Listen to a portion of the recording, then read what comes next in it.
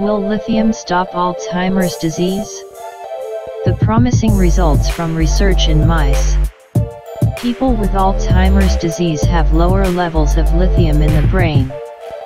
Compared to healthy people, which leads to cognitive decline the results from new research.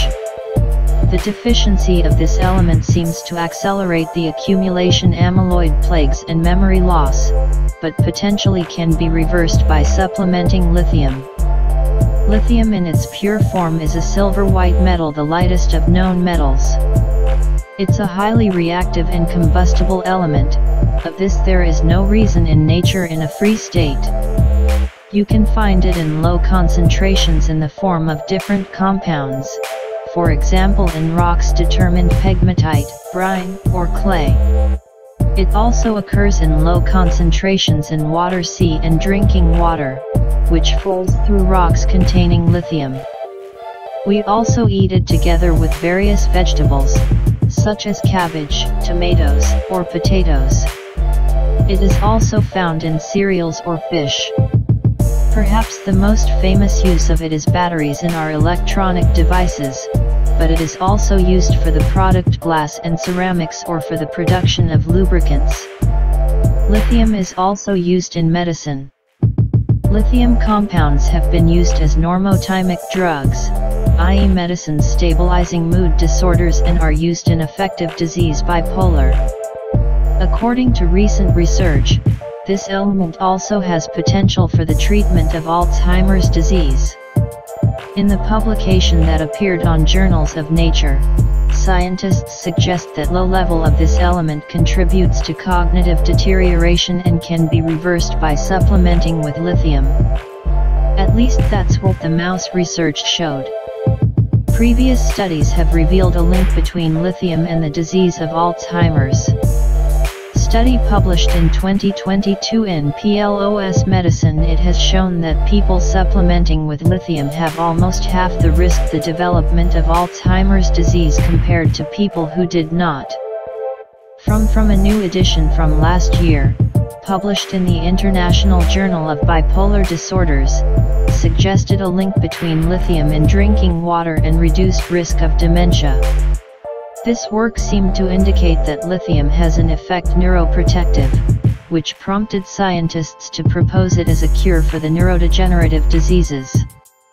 However, the findings from previous studies come from observational work and has not shown that lithium can change course its Alzheimer's disease.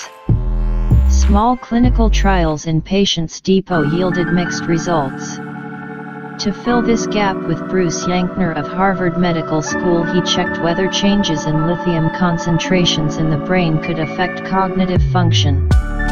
Together with colleagues, he analyzed 27 metal levels in the brain's 285 of the dead.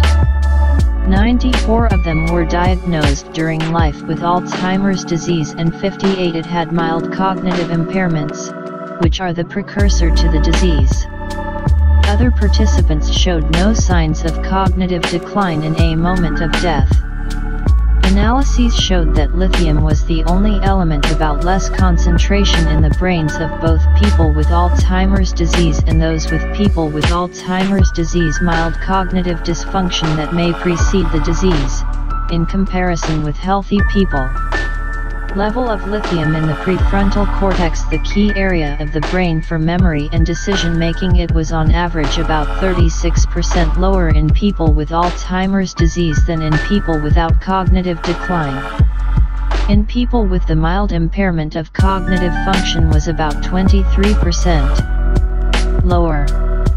We suspect that this is due to many factors environmental, food, genetics, etc Yankner said.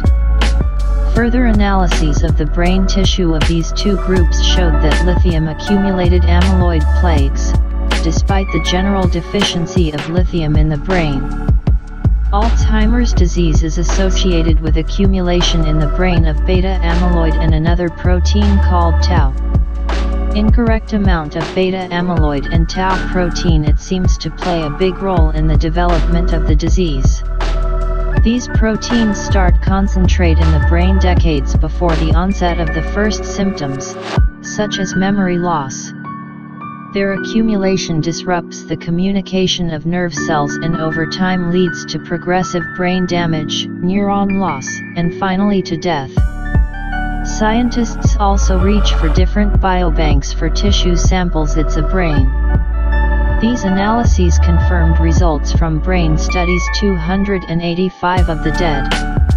This prompted scholars to put forward the idea that all metals in the human brain are present in a carefully calibrated ecosystem, and amyloid plaques disturb this balance by accumulating lithium and removing part of it from the body. It is the reduced availability of lithium that may contribute to symptoms such as memory loss. These findings prompted scientists to seek a form of lithium, which could increase the natural level of lithium in the brain without binding to amyloid plaques. In research in genetically modified mice in the target of developing amyloid plaques and symptoms similar to Alzheimer's disease, adding a small dose of a compound called lithium orotate to drinking water by all life prevented the development of plaques, as well as the accumulation of tau protein. Aging mice at low doses of lithium orotate during tests with object recognition and finding the way in the labyrinth they did well, as if lithium supplementation completely reversed the loss of memory. Scientists have also found no evidence that lithium orotate is toxic to the kidneys and thyroid grid of rodents, even after prolonged use which occurs in treatment of lithium carbonate bipolar disorder. Moreover, when scientists fed mice prone to development symptoms similar to Alzheimer's disease with a poor diet in lithium, observed clear decrease in cognitive function and greater accumulation of amyloid plaques than in mice on a normal diet. If these findings are confirmed in the study's clinical implications can be far-reaching. Alzheimer's disease affects more than 55 million people around the world, but researchers say if not no cure will be invented. By the middle of a century of the sigma already there are more than 150 million people.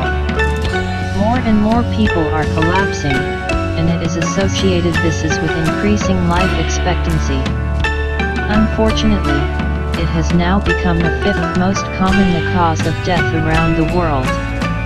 Available on the market, the therapies slow down the decline of cognitive functions, but do not stop it.